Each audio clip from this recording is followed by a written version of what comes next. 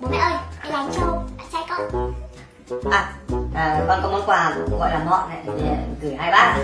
Hai bác cho phép con với tiết được. Chỉnh chỉnh chỉnh. à, à, chính thức được đi lại với nhau.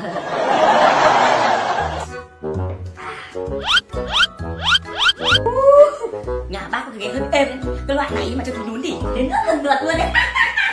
À ừ đúng cậu lại tin tưởng hết à? Cái uh, ghế này là tôi phải mua từ bể về đấy. Nhà có tiền bác cứ mua hết đồ mới đồ xịn à mua cái đồ đẻo dùng mấy năm nó nó học ngồi ngã cái ai chân thì lúc đấy thì ai chăm? Lúc ấy thì, thì bác gái thì, chỉ cần chết đến nơi rồi ai chăm nữa. Có cháu chăm đâu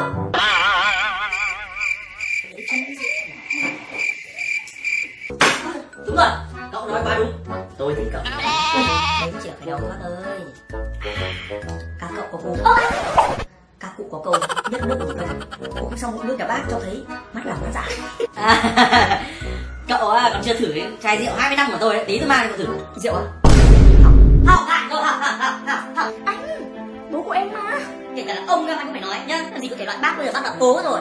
Mà còn là chồng nữa. Mà còn rượu chè. Hết tại là nhà thế á. Cháu không rượu chè cờ bạc cái bú. Cháu sẽ trở thành một cái tấm gương sáng thay cho cái mặt bác. Nãy giờ là tôi chỉ thử của tôi không rượu bia không uống lá không gái bú là rất tốt. Nói chuyện bác ác quá ôi! Ôi ôi chết ôi chết tập sữa bác dạ cậu này. Trời đã lạnh rồi nước vào quần như này nó tụt hết cả hàng họ ở bên trong này tí phải lấy zip cắm ra thì sao? Ui rồi có mỗi cái quần thôi chứ không phải cái gì to tát bác cứ sồn sồn nhà chó cắn vào lồng Có biết là bên trong này có các lần thẻ điện thoại không? Vứt như thế là nó dính vào nhau là sao mà cà được. Thôi bác cứ vứt đi để cho mua cái mới cho. Nếu bây giờ bác cảm thấy ấy, cái tivi nhà bác cũ rồi ấy cháu mua bác con 4 k. Nếu mà xe máy cũng cũ rồi cháu mua hẳn bác có s 300 đi. Cái quần bác ăn vứt đi. Bác vứt luôn đi. Mai cháu mua bác quần mới. Sự tình cảm của cháu dành cho tuyết thì không bao giờ thay đổi.